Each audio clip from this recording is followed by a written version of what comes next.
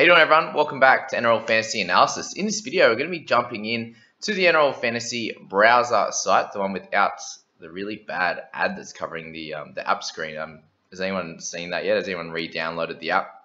I'm hoping that they fix that because it's not very good at this stage. But try not to panic too much, guys. It's a long way out from the season. They've obviously just brought out the app, um, but we'll, we'll work that out as we go along with it. But yeah, in this video, I'm actually going to go through and make a complete team uh, from scratch, just just going through position by position, giving some tips along the way, and I hope this helps all of you guys when when you're making your sides. Just you know, just listening to what I'm saying when I'm when I'm going through different positions and different price points and stuff like that, and what I'm looking for when going through a side. So we will start up up at the top in the hooker position. Just want to explain a few things around pricing first. So we're, we're going to look at how the price is determined and this year it has changed a little bit. They've brought down the salary cap, which means they've brought down everyone's um, total cost as well. So everyone's price is a lot lower than it was last year. And I'll explain a little bit further. So the price of the year, the value is determined by it's approximately 12.5k per point. So an easy example, if you look at someone like Reuben Cotter, who's priced at 500k, he is sitting at a 40 average, or he's priced for a 40 average. So if you can see that here, we go up as, as we go along. It's 125k. Obviously, no one's priced at that, but that's how it's worked out. It will be a 10 point average. 250 would be 20. 375. We're going up 125 each time for those playing along at home. 30 point average for that. 500k would be 40, 625 for 50, 750 for 60, and onwards and upwards. So if we look at some of the guys last year, we're looking at uh, guys with a, a 50 point average. We're sitting in around that 670, 680k range. So everyone's, you know, as we're going up along the, the points here and the price points, people are sitting around 60, you know, 50 to 70k uh, less than where they were last year. So when everyone's saying, "Oh, oh my God, everyone's everyone's super expensive," what do I do? Just remember that everyone's gone down along with the salary cap. It's always difficult to make a team at the start of the season.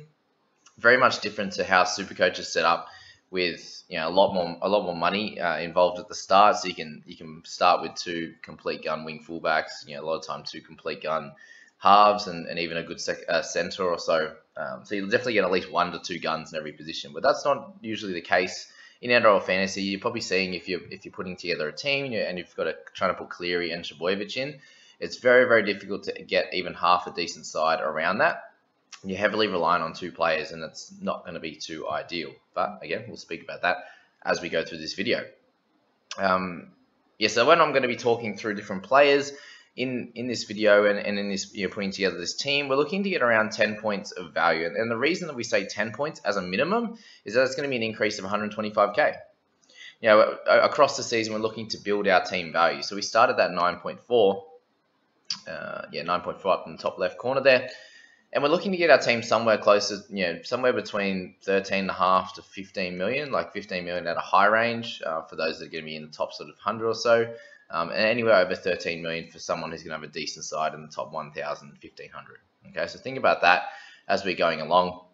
You do obviously get to start with 21 players, uh, so that's very helpful in terms of being able to pick some guys that are going to create some value. There's also going to be some guy, there's some guns in your team that you won't be trading out, so you're not going to realize any of the value that they that they bring up. But let's just say you you know you brought you brought in 10 different guys that had 10 points of value. Okay, you know, you, there's there's over a million. You know, you're looking at one two fifty there, which gets us up to ten point six, and then you have you know the thirty six trades um, as we go along the season to be able to build some of that value to then be able to create your guns at the end of the year. So that's what we're, we're talking about there, is as in you know the importance of getting around that ten points of value and that 125k, because there are going to be a lot of a lot of players that you bring in that unfortunately are dud. You know, we're seeing you know you're going to bring a few at the start. We all will, one or two that minimum that uh, that don't play very well, even if you, even if you have a really strong starting side. You'll have to trade out. There'll be a lot of injuries. There'll be COVID dramas. So, you know, every trade's going to be really important, and every starting player that you bring in that uh, provides you value in that ten points is going to be really important. Also, the ones that you don't pick up, the ones that you that you pick up that don't go so well, is also going to cause you a lot of issues across the season. So, let's start with the hooker position. So you can click that there. You can go over to the side, more filters if you want to separated there by position. Um, you can obviously go by price and everything like that as well. But we start with the hookers, and it's a fairly tough position. It's probably the, uh, probably definitely to me anyway the toughest position to select this year. You've got Brailey who's out Harry Grant has the red dot guys, um, along with uh, Brandon Smith, who are both out for the first game. So suspension related uh, things for these guys. Same with Munster as well. So what we can do, if you're someone that likes, you know, Reed Mahoney, you're an Eels fan, he's you know the highest highest average hooker, then he's someone that's easy select. There's some other option we'll talk about. Obviously, Damien Cook, he's just going to be rock solid up there.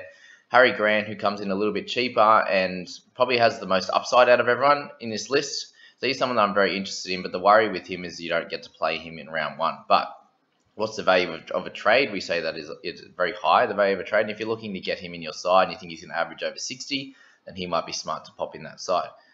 Anyway, there's a few other options. We obviously have someone like Reuben Cotter coming into that 500k mark who has a little bit of value in that dual position as well, mid and the hooker. Average 43, price price at 30. Should be should hopefully be getting a few more minutes for the Cowboys this year in that 13 role. So he's someone that you could plug in at a cheaper price point if you're looking that, at that as well.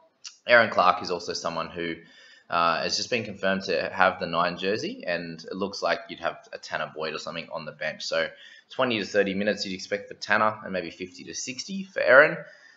The thing with uh, the thing with him is if you actually look at his stats, he hasn't scored too well, like as an overall basis in his sort of 60 plus, you know, 50 to 70 even you know he's got one good 80 minute score, but he won't get he shouldn't be getting that unless there's injuries to all the other hookers. So for him, I don't see the the 10 points in value, maybe five points, but not enough at this stage. You've got, guys like Kobe Hetherington, but his roles, you know, we're not sure what he's going to be playing at this point. And looks like Randall should be getting a start. And you see his 31.6 average there, and at his 350k price you're looking at him being, if we go back to our tally there, 350. He's you know priced around that between 27 and 28, which we see a lot of those uh, wing fullbacks and centers priced at. So is there going to be like, is there going to be 10 points of value for him? Do we see him playing 60 minutes? And if we do, then we he should be able to get that minimum 10 points of value. You know, 60 minutes at a point per minute of like 0.6 and a half, 0.7 is really, really easy to do. Well, I say easy. Should is very he's very capable of achieving that. He's had a game with over 70 tackles, for example. So he's someone that's definitely interesting and might be someone that we just pop in um, as a as a guy that we can play off our interchange bench to start. But with things not being too sure, with the you know obviously Grant not playing round one, I then would select between Reed Mahoney and Damien Cook. I think it's important to have a gun in each position at this stage of the season. So let's go with Reed just for the fact that you know he did really well at the start of last season let's pretend I'm an Eels fan. So we're gonna pick. We're gonna start with Reed, and then we're also gonna pop in Chris Randall as well. So you get two guys from the hooking position, and we're gonna play around with this as we go anyway uh, along the way. Okay, let's just go really simple in our mids and select a gun. I personally, out of the top guns in this position, I like Payne Haas and I like Cam McInnes. So you're getting guys that are at the top of their field. Uh, you're going to be getting around that 60 point average or above. Uh, which is going to be really helpful. If you have that one guy in each of the positions that is the best in their position, i.e. Reed, could be a Grant, could be a Cook, but they're very close, Haas, McInnes, etc., etc. So let's be simple. Let's go for Payne Haas as our number one option. I just see him, you know, he's going to be a gun for many years to come. Nothing's really going to change with his minutes or anything like that. He's just going to become better as a player. The team's going to be better. So I know I see no reason why he'd go down and every reason why he'd at least stay the same. And if you um, happen to have a suspension or something to one of your top players, whether it's a Cleary or whatever you decide to pick, then Payne Haas could be a nice captaincy option as well. So that's that. Okay, let's go through. Just let's just go through each position and go through the guns to start us off because these are a lot, uh, a lot bigger and a lot uh, you know, harder to dissect. In terms of our edge position, very very interesting this year. If we're looking at our top guys, Fifita's going to lose a lot of points through the tackle breaks. May gain a few through the offloads, but he's more of a you know pin the ball under the under the arm and and and break through and try and score. So for him, he's going to be losing sort of you know, at least around that six points. Um, dived in a little bit deeper, we'll be able to see exactly, but around that six to seven uh, points in tackle breaks each game. Papali'i had some really really high scores in 80 minute rolls, and it looks like he's going to play a bit more edge. So I don't, uh, I don't see him sorry middle. So I don't see him being a, viable option at this stage of the season. Guys like Jackson are solid, but you know that was an outlier year for him. Will he continue that in a team that's a little bit better? Maybe not. Crichton was okay last year. I don't think, like personally, owning him last year, I don't think I'd like to select him again. We keep moving along, someone like Ryan Matterson and and Curran are really interesting players to me, along with um, Tevita Pangai. I think for Pangai, he he gets the most benefit out of this. He obviously was a tackle buster as well, but he also offloaded offloaded two and a half times a game. So very similar to that of uh, Christian Welch in terms of um, their abilities to offload it. So he becomes interesting in that dual position, and he should see a lot more minutes than he did uh, the years the, you know, years previous in terms of you know, spending a lot more time on the bench and stuff. He should have this uh, edge position locked up at the dog. So for me, I in, out of these three guys, it's probably a Pangai and then a Curran at the start of the season because of the dual position. But I think Matterson will probably score better overall unless Curran you know manages to keep manage to keep manages to keep his position. Um, so that's that one there. If, if we have a bit of extra money later, then one of those one of those two guys could be decent as well. But I can see these guys obviously being keepers in that in that lower 50s currently. Uh, yeah, sort of your low end keeper when you've got guys that are uh, in the 60s, but they have the potential to be a mid to high 50s kind of player. So keep that in mind when you're selecting a edge player like these guys. All right, so there's one. Let's keep keep moving along. Uh, pretty obvious that you should be going Cleary. He has a 93 average. He's going to lose just over 10 points uh, in value with you know his his uh, kicking in general play. Uh, he should gain a little bit in offloads, but yeah, if we're looking at these types of guys here, someone like Cherry Evans is going to lose some value as well. When you've clearly got the best option in a position, he then gets to double his points by captaincy. I feel like you know just spending that extra couple hundred k is, is a no brainer. So you know if, if that doesn't exactly make sense to you, just just go back and listen to that again. Would be ideal. But yeah, you're wanting your captain to be you know if he if he's the best player in his position, awesome. He's the best player in the game by a long way. Then you have to plug him in and, and play him as captain. It's very very simple for that one. Okay, centers this becomes very, very interesting. There's a lot of guys that I'm very much interested in in this in this one here, and all for different reasons. So Burton is one of them, being he's going to be playing in the halves. There's some talk that he's going to be a little bit more of a running half. We'll see in the trials how that pans out. So he's going to be a decent option at 593 anyway. I see a little bit of value for him. I see him averaging over, you know, I see him averaging over 50. So a little bit of value. You get him at, a keeper, as a keeper in the half, uh, in the centers anyway. So don't worry with these types of guys like Burton if he's only got maybe five points of value because he's already at the top uh, average in the center position. So keep that in mind when you're picking these guys as well. Is that if they have a tiny bit of value and they're at the top of their position, they're just an, almost an automatic buy anyway. But I also do see a couple other guys that have some value uh, as well. And we'll find them in a moment with Euan Aitken, who has that dual position as well, edge in the center. You see that dual position with Burton, half and center as well. So you can move them around. This can be really important in a COVID year as well. But Aitken moving to uh, the second row where he played uh, through the back end of last year. This this 43 average includes a lot of games in the centers as well. And when he moved to the back row, he was you know, averaging pretty much 10 pretty much 10 points of value above where he's at currently. So 540k, and he's someone that you can get in the centers, I think is a no-brainer as well.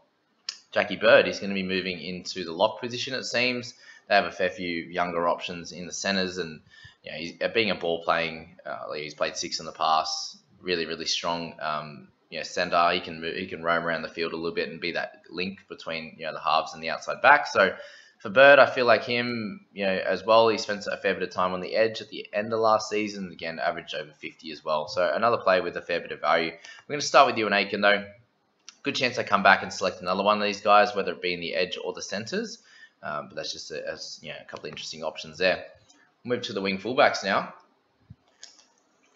And for me, there's some obviously some interesting ones. Trbojevic going to have to play out of this world again just to maintain that average. Obviously, he's going to lose a bunch in the tackle breaks as well. I just don't see him getting there, and, and I see his price dropping down a bit, and we'll pick him up at some point in the season, probably in the back end for him. is going to move, uh, uh, leave a lot of, sorry, he's going to miss out on a lot of tackle busts as well. Uh, so his 59 average was out of this world with the 250 meters gained. I don't see that happening again. He'll still be a gun, but I don't think he's under, uh, I don't think he's valued correctly at this point. Tedesco as well, 695 at 58 average, solid. You know, you can pick him up if you like. But there's also some, some I wouldn't say better guys, but better valued guys that could average similar, a little bit lower. And we'll start with someone like Papenhuyzen. Obviously, averaged 50.9 last year. That includes a lot of games off the bench, and he was averaging over 50, 70 for the first part of the season. He's got the goal kicking, so a lot of really good signs there for someone like Pap to do a lot of good things and average more than he's currently at and get up in those 700k range. So a keeper in that wing fullback position, you know, based on averages, there is a top what eight or nine wing fullback, and that includes a lot of games off the bench last year. So for me, a bit of a no-brainer in terms of value. That is you know pretty close to 10, 10 points in value if we're you know even discounting him from that 70 last year.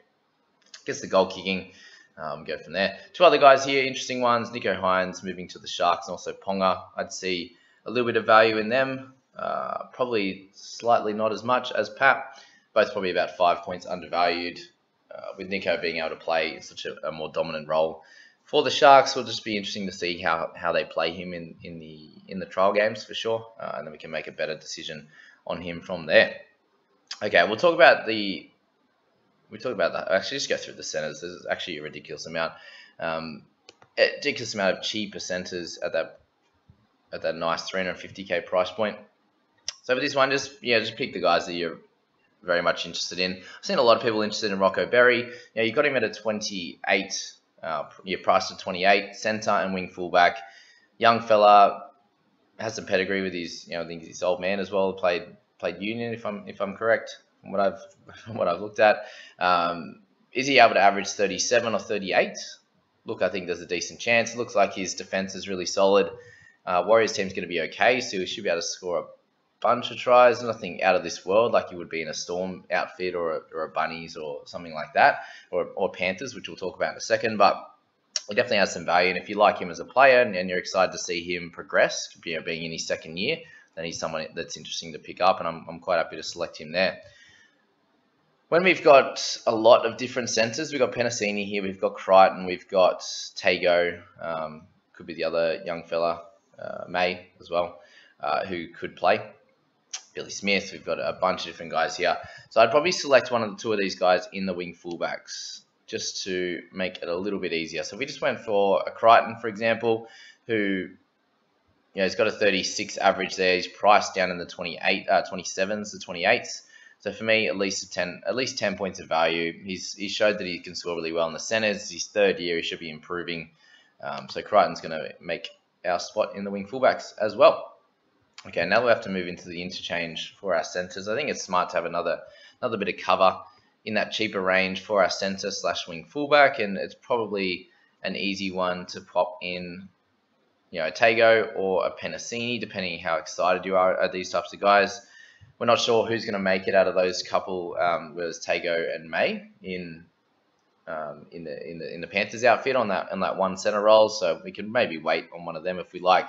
Um, if you're interested in Penisini, again, 33.7 average, played really well as a young fella at the back end of the year, so he's someone that might be interesting to select. Interesting, uh, I mean, everyone now. Cool, that's why it took a long time to scroll. So Penisini's in there. We'll come back to the bench in a little bit. I reckon we can select one more of the, the dual position guys, whether it be um, a Jack Bird or an Aitken, uh, sorry, a Jack Bird or, or a Burton or something like that. So then we're going to, we're looking at the moment as a, a big bunch of um, dual position guys already in that centres. Obviously got one in the wing fullbacks now. We got one in the mid edge. So it'd be nice to have another one in the edge position. I've seen really cool to be able to interchange like a Jack Bird and an Aitken, depending on um, how you need to play the game. If one of them gets injured, something like that. I think is a is a cool thing to be able to have up your sleeve. So let's let's just roll with Jack Bird. Also get him at a cheaper price. He's probably going to be a keeper in the centers. We can upgrade our mids and our edges that little bit later. Okay, that's that there. Let's go for another half. There's obviously plenty of action in the halves position as well.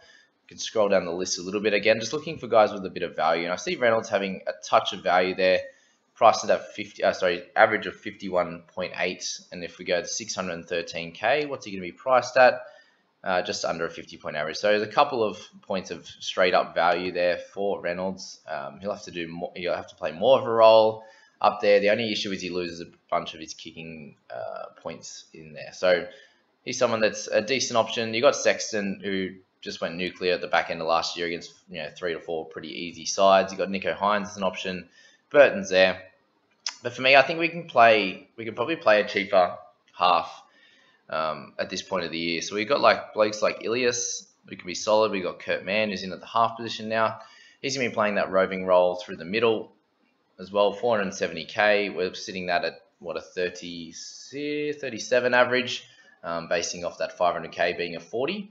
Uh, so again, a couple of points of value. He's played a lot of he played a lot of games out in the centers and stuff last year. So through the middle, if he can get anywhere around that 60 minutes, I can see a 0.8 or so um, point, points per minute for him.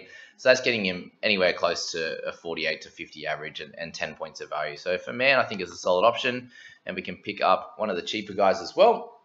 Again, not exactly sure who's going to be playing at this point, but whether it's an Ilias or a Taaffe, I think um, they're all going to be solid options there. If we can pick Elias up, um, we got Amone, who I really like at the Dragons. I think we're just going to pop him in. Um, you know, whether it's going to be him, whether it's going to be um, Tago, someone like that. We're going to have one of those guys on the bench. So let's just go with Amone now, who's a good chance of getting the center position and has a bit um, has a bit of flair. Like I think he's a really good player. So that's that there. Okay, we'll leave the halves at that point and we'll move back to the mids. So we have Payne Haas at the moment. We've got Pangai in our edge position as someone really strong. Let's check where we're at money wise. So 1.8 mil left for seven positions. So we're looking at only 200, not enough, do we? So that's where it makes it a little bit tougher, right? We then have to change on the run. So in this position, someone like, gee, even even Pango might have to go, or, or a Payne Haas, for example. It does make it hard. And this is where we talk about that this at this point of the season, it's not easy to to pick up absolute superstars in, in certain positions. So, and especially when it when when the edge position is is tough to fill certain um, certain really good players, and someone like Jack Bird might not be able to be there. We'll, we'll pop Aitken up there as well in our edge position. All right, and what we can do is just actually search, make it easy for us. Aitken there. Cool. We'll pop him in the edge and we'll and we'll just play one of the cheaper guys in the centers at this point, just because there's so much value there. There's no, there's no real reason why we can't do that. And let's just pop Tago in at this stage. Okay, that's going to help us out a little bit. All right, a bit over two million now. Obviously, we're going to probably have a couple of you know 250k guys in this emergencies, but we're going to need a little bit more for um, our starting side. So mid position. Let's try again. All right, so what do we want here? We obviously have to spend a little bit less. Is there any value in this position? I'd just be scrolling through. What can we do at this price point? We've got Reuben Cotter there, who we might end up having to use in our hooker position instead of Reed, just being at that 780k might be a little bit much for us at this point of the season, especially. Tommy Gilbert's going to be a half an interesting option. Does he have 10 points of value? I'm not sure. He could average somewhere maybe around the 40 mark, which would only give him 40 to 50k in value. Moving along the line, not too much at this stage, obviously. Sorry, I'm moving quickly just because uh, I have actually done some research, which I hope you guys do as well. Obviously, if you're watching my videos, it's a good uh, amount of research, but you know, doing doing a bit of your own, even just scrolling through these guys and just going, oh, that guy's interesting. His average is a little bit higher than than what he's priced at. Oh, this Neem guy, let's have a look at him from the Cowboys. Will he get some game time? Approximately, is he in projected lineups? Things like that I'd be looking at uh, with those types of guys. Kobe Hetherington's there. And then you look at guys like Penne, um, Spencer Leniu. I can't believe he's still 320k. Um, and then you're, you're, moving down the list, and then you're getting to guys like Tepai Moeroa, um, et cetera, et cetera, 240k. So the mid position is really, really interesting. Yeah, coming into this season, so it might be one where you go, "Oh, do I do I spend up that little bit more in our mids?" And get a couple of guns, and that and that might be a solid option. So let's let's move someone like Pangai up into uh, the mids. I think we're going to have to move Reed Mane. So obviously, I'm sure you guys have had to go on making your team and, and showed that it's not easy just to to pick up a, a really good side straight away. It's going to take a fair bit of work to get to exactly what you what you wish there. Okay, we've already got Aitken up there. We've got our centers. We don't have any other jewel in that edge position. Boarding and undo in our hooker position. Okay, so we can't go for Reed. There's, look, we can go for Harry Grant, but that would mean that would mean we're playing a Randall. So at this point, just to try and get a little bit of balance across our side, we're gonna hit with we're gonna hit with Reuben Cotter, and, and with that dual position gives us a fair bit of help there as well. In our hookers in mid, if we wanted to, we could play Randall in the hooking position to start, and, and play Cotter in our mids. So that's something that is interesting. But now we've got a fair bit of cash in that mid position. Oops. As well. Okay, so edge. what are we going to find there and how much cash have we got left? We're looking at 2.36 for seven players, so a bit over 300k a player. Cool. Well, how about we make this a little bit easier for our brains right now and go for some cheapies that are a chance of playing. Okay. So the 240k guys obviously got the young fella from. Uh, there's a decent chance that Tepai Moeroa plays at 240k. Is he going to do anything? Ugh, who knows? Something's going to come up, guys. So you got Metcalf in there that could come in for uh, if, if there's some injuries and stuff like that. We have Andrew Davey. It would be nice to jump in and get him a, a game or two to make us some cash.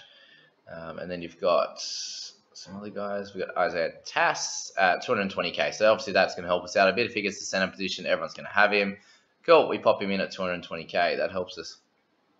Okay, everyone's talking about that um Moale from from Rabbitohs, and we don't think he's going to get a spot. Obviously, in a bit of a jam-packed squad. But let's just say there's a 240k player, um, and we're only going to pick up two of these guys. Two, two 240k players uh, to, to round out this squad so far. And uh, where do we say Tepai?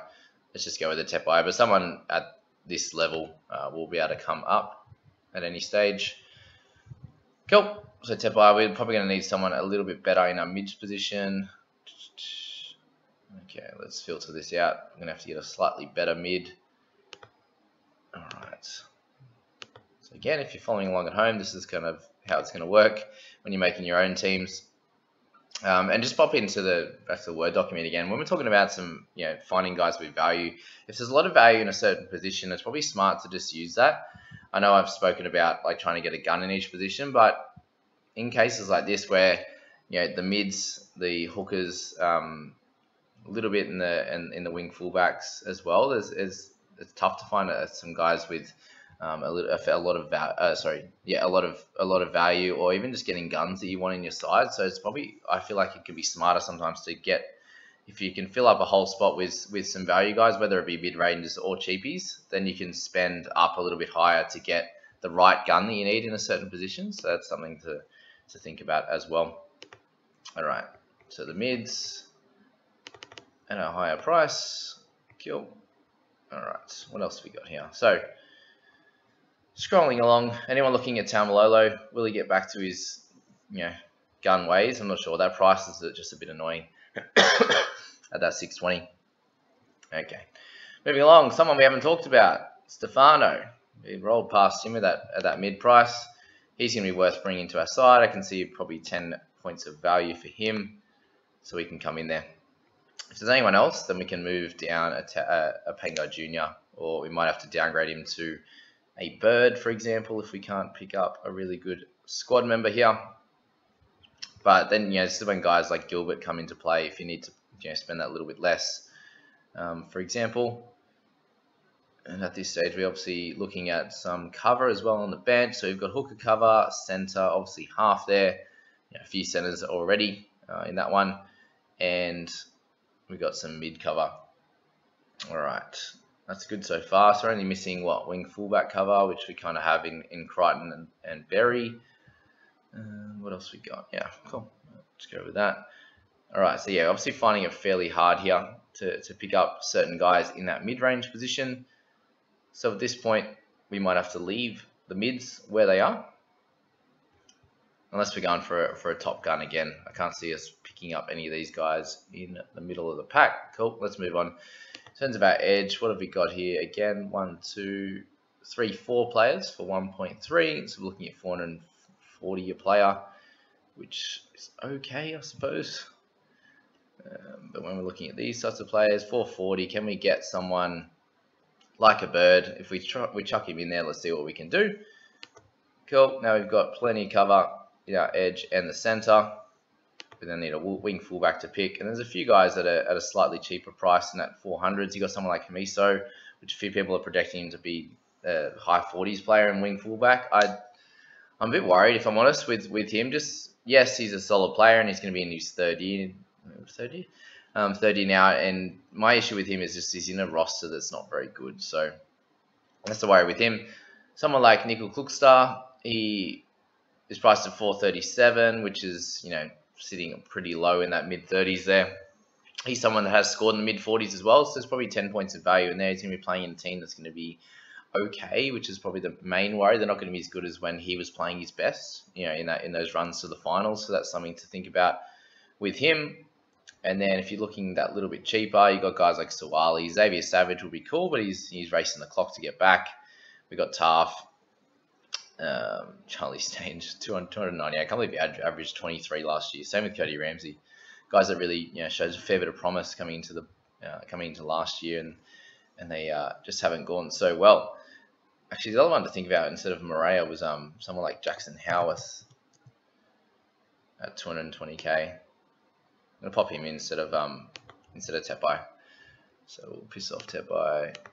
Thanks for trying, mate. In terms of having fullbacks, this could it's gonna change as we go. So no point spending too much time selecting these guys. But at 400 odd thousand, we could go for Nickel Klokstad. Let's just throw him in there as a safety. And then we got two to pick from at 391k. That doesn't help us. Beautiful. All right. Shows how hard this is, guys. Really. Yeah, we look at this now. We're probably going to have to downgrade a Haas or a Pangai Jr. Easiest one might be Haas at 782k. Where to from here? That's the question. Who are we going to pick up on our emergencies? And then, you know, look, we're looking at this team and, and where are the real cheapy guys that we can get in over some of the big dogs. Okay, mids. Let's make it tough on ourselves. Alright, who else we got in the mid-range? That's some value. Again, we've been through this. Finucane. Yeah, it might end up being a Tommy Gilbert. We might end up having to pick a Heilum Luki, for example, or a Nanai. Alright, let's go with let's go with Nanai just to make it look okay here. Uh, 350k. Decent chance of getting some big minutes in the pack for the Cowboys. That's cool. All right, mids there. All right, who can we pick? Curran at 670 might be half okay. We spoke about him and guys like Matterson as well. Oops, let's on here. Um, Lolo, Welch, 5, 588. Maybe provide some value for us. We can get him at over a 50 average um, and play him up until the let's say the Christmas break up until Origin, for example. That could be a decent one there at that cheaper price. Cool. If we did that, let's just play. And then we have 235k. So we would get another cheapie in there. Um, at this stage, it looks like the majority of these guys are going to play. If we weren't able to get someone at that 300, at that 230k, which obviously we can at this point, let's scroll it down. We can get another 220k guy, but again, there's a good chance that a lot of these guys aren't going to play, so we'd probably have to downgrade somewhere else.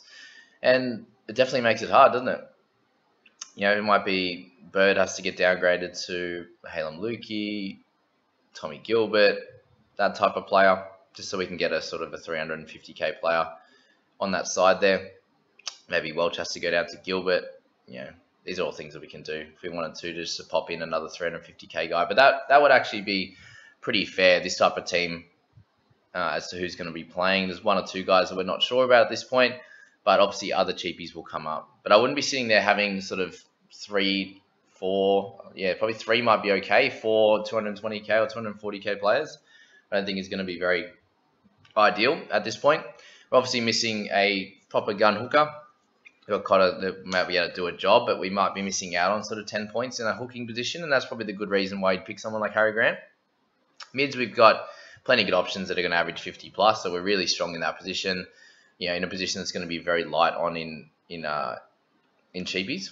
So that's probably a smarter idea to pick those guys up there. We've got some guys on the edge here in Burton Aitken in that mid range that should be able to provide us some value. And then we can move them into the centers um, as keepers later when, uh, you know, Tago, Berry, these types of guys, unless they become uh, keepers themselves, uh, we can move them on after they've made a bit of cash. Um, and sort of upgrade in our edges there. We can move Pangai down. We can do a few things with that uh, middle and edge position there. Cool, we got Cleary, and we've also got Kurt Mann, who's a little bit undervalued. Cleary is our captaincy option. Great. In terms of our centers, we obviously don't have any high price guys, but we, we have them up here in Bird and Aitken just playing a different role, just because I see a fair bit of value in that center position. So smart to have a couple of guys, whether Penasini, um, whether it's Tass, whoever it's going to be, to cover that. I think that's pretty good at this point. And then we got in the wing fullbacks, we got Papenhuyzen as our gun, And then we got Stephen Crichton uh, and also Nickel Klukstar who can average that mid 40s and Crichton hopefully somewhere in the mid to high 30s um, and do a job. So overall, solid with a bunch of different cash cows uh, covering all the different positions. On our interchange, we're just probably needing a wing fullback here in that position. I think we'll be pretty well covered. So that's how you make a team, guys. That's just the general idea at this point. It's obviously super early. We're at the back end of, of January. There's 40 days until the first game just keep that in mind that we don't really know overall. Like we've got a good idea on certain, you know, a lot of the mid-range to, to high-level guns is what their roles are going to be. But a lot of the cheaper guys we won't know until trials. Um, but that's that's going to be the best part to to actually see them um, and spot the different guys that you know you might have been interested in at this point of the season. There's going to be a bunch of guys that we had no idea were on the radar that are going to come up as well, uh, and they're going to be really cool to pop into your squad. So overall, that's how that's how we do it, guys. I hope you learn a bit from just me scrolling through. Obviously, there was a little bit of mindless scrolling, but I just wanted to you know get in there and show you actually how hard it is to actually make a team. Like, yes, I know what I'm talking about at this point. Um, done a little bit of study, obviously, but it's still very hard to just make a team in two seconds, or you know to do it uh, properly at this point when there's so many different options. There's going to be. Um, but that's enough rambling for me for today's video. I hope you really enjoyed it. I hope you took something out of it. Please hit like, hit subscribe if you're new, uh, or if you haven't subscribed yet to this channel. I really appreciate all you guys' support, and we'll uh, we'll continue popping out these videos uh, as we go along through February and into finally round one. All right, see you guys. Have a good day.